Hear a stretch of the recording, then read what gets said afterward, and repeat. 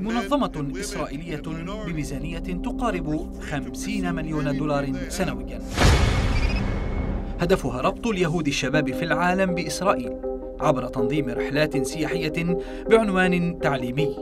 والهدف تكريس واقع الاحتلال وسرقة الأرض. منظمة بيرثرايت إسرائيل أو الحق بالولادة في إسرائيل. منذ العام 99 تنظم رحلات مدتها عشرة أيام إلى إسرائيل. المشاركون في الرحلة يشترط أن يكونوا يهودا أو يكون أحد الأبوين يهوديا.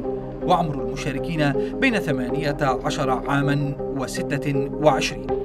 يأتون من عشرات الدول حول العالم ويتنقلون على مدى أيام بين المناطق والمدن الفلسطينية المحتلة. من حيفا والقدس وجبل مسعدة والبحر الميت وغيرها.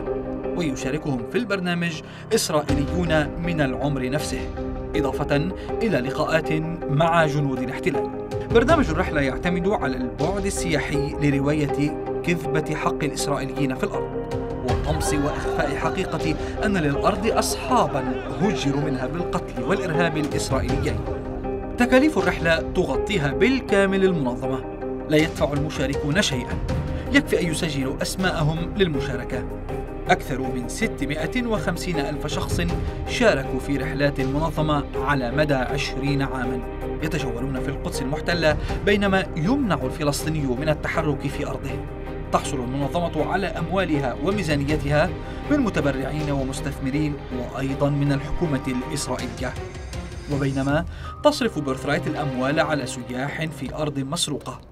تبحث الأنروا عن مصادر لسد عجز الميزانية ولا تتحرك الدول العربية وإثرياؤها. تسعى المنظمة إلى ربط اليهود في العالم بإسرائيل ليصبحوا في المستقبل مدافعين عن الاحتلال أو مسوقين للرواية الإسرائيلية في العالم بينما يضيق على الفلسطيني لقبول صفقة القرن والتخلي عن هويته والمطالبة بحقه في أرضه.